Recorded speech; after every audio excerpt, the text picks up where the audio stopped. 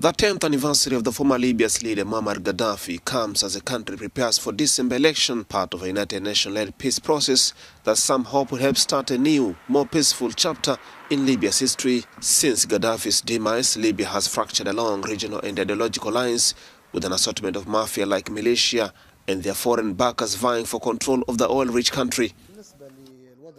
In regards to the situation in Libya in the last 10 years since the death of Muammar Gaddafi, the country went through phases.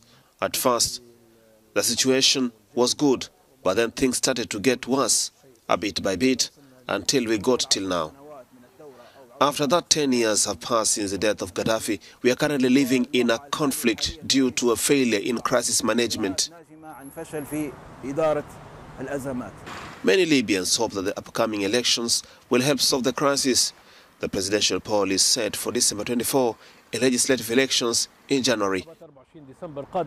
We are hoping that the elections of the 24th December will help lead to a better life and to political stability and security, as well as civil transition to a state of law. Gaddafi ruled Libya with an iron fist for 42 years after a 1969 coup against the monarchy, portraying himself as a revolutionary, Arab and African hero while mercilessly crushing all opposition figures in the country.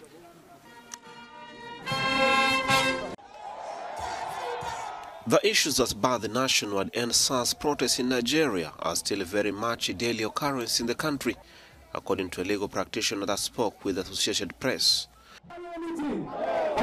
A judicial panel of inquiry was created to look into cases of police brutality, remaining issues of the protests and killings by security forces. There are several persons in police custody, regardless of whether during the protest or not, that are still in custody because of indiscriminate raids from the police. Dozens of petitions remain unattended to with at least nine states embarking on indefinite adjournment with no date to resume. We have a poor system of police whereby the police can hold on to suspects as much as they like and nothing will happen. Then we have the uh, fault of some sometimes the court too. Most of these things take time. The last year incident of Lekki Tollgate shooting of peaceful protesters snowballed into a level of destruction never seen before in the commercial capital Lagos. Civil society groups are now planning another round of protests as grievances over police abuses and the slow criminal justice system remain. Hundreds of truck drivers in Sudan have continued their month strike blocking access to the main sea entry point. The demonstrations began when key eastern tribes opposing the transitional government in Khartoum blocked roads and stopped shipment at the Red Sea port. They are calling for the cancellation of parts of an October 2020 peace deal signed between the government and the rebel groups. This checkpoint has been here since the 17th of last month, and we only allow small cars loaded with materials destined for the eastern region.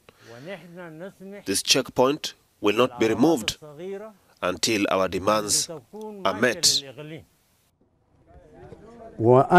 I have been stuck here for 23 days exactly. I am not going to talk for myself, but rather for the general public. The majority of these drivers have been suspended for 23 days. Four weeks since the crisis erupted in mid-September, basic supplies to the rest of the country northeastern region have been delayed, triggering a fresh wave of shortage nationwide. The approximate daily income of the container terminal is equivalent to hundreds of thousands of dollars, and the road closure period took longer than we expected. We are now facing daily losses. The longer the period of road closure gets, the bigger the losses. Sudan has also been gripped by a bitter and deepening political divide among key factions steering the transition under the August 2019 power sharing deal. Turkey's President Recep Tayyip Erdogan met with his counterpart in Togo on Tuesday as part of his three-day visit to Africa. The two leaders met in Lome for a day of detailed discussions. Recep Tayyip Erdogan reiterated Turkey's commitment to Togo in the fight against terrorism. Initially, the Turkish leader was in Angola where he met his counterpart President Joao Lourenço on Monday in Luanda.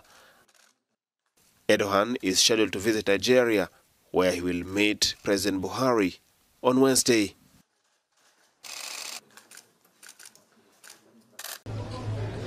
Togo's President Faure Gnassingbé has received his Turkish counterpart, President Recep Tayyip Erdogan, in Lomé. The reception and meetings are part of a three-leg Africa trip of President Recep Tayyip Erdogan. It followed a meeting with Angolan President João Lourenço on Monday in Luanda at the start of the trip. In Lomé on Tuesday, Erdogan and Gnassingbé discussed issues of economic cooperation, the financing of the industrial platform of Adetikope, located at the northern exit of Lomé, and also terrorism. In less than a year, several Togolese ministers, including Foreign Affairs, Security, and Armed Forces, have successfully visited Ankara. The visit is seen as a key step in strengthening Turkey and Africa's trade relations, which has grown from 5 to 25 billion dollars since 2003. Almost non existent then, Turkish investments on the continent have also exploded. They now amount to $6.5 billion according to official figures.